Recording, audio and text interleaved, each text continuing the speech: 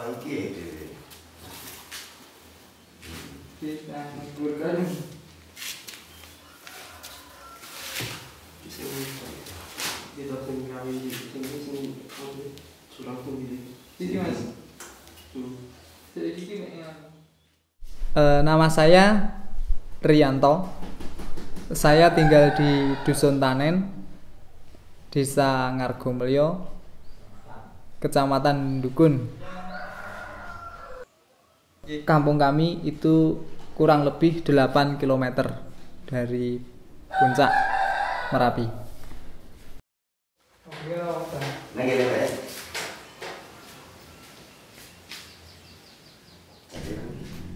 Kondisi di dusun saya sudah terkena hujan abu.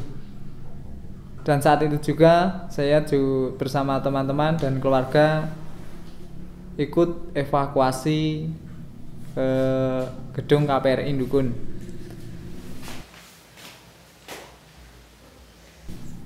Dan setelah dipindahkan ke Muntilan, setelah beberapa hari eh, saya pulang.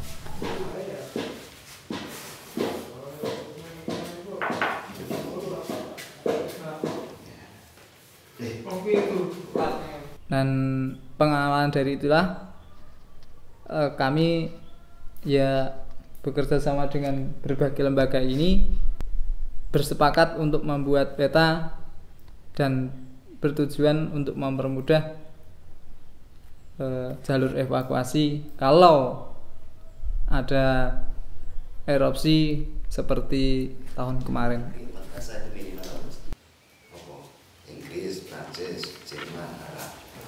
200.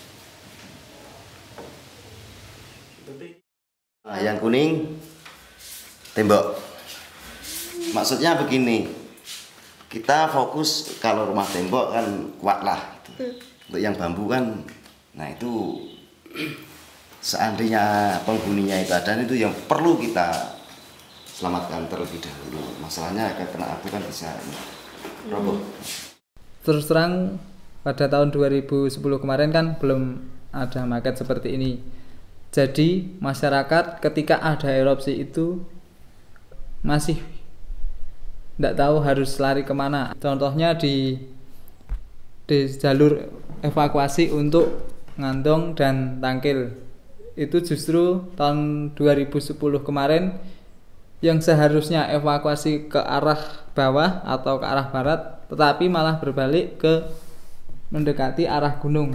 Ketika 2010 kemarin eh, karena jalur untuk yang sampai ke arah bawah Kali Bening ini jalur alternatif untuk evakuasi ini belum dibangun jadi mereka malah pergi ke atas yang seharusnya menjauhi gunung tetapi malah mendekat ke arah gunung jadi tujuan yang paling penting adalah itu